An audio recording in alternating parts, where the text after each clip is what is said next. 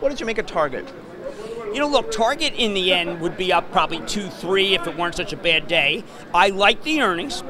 I didn't like the traffic was down. I liked the fact that electronics was doing well. It was doing poorly, but that's the Nintendo Switch. I like the fact that apparel's doing well. Most people did not have good apparel. Swim's doing well. That's Victoria's Secret pulling out a swim.